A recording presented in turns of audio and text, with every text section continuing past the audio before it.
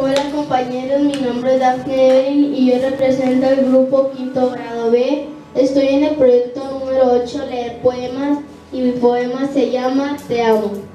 ¿Cómo decir te quiero a través de la distancia? ¿Cómo hacerte saber que estoy pensando en ti y me haces mucha falta? Quisiera encontrar un ángel o quizás una ave encantada que cargue todos mis besos y los esparza en tu almohada. ¿Cómo a la brisa que al pasar de madrugada lleva hasta ti mis caricias y las abandona en tu espalda?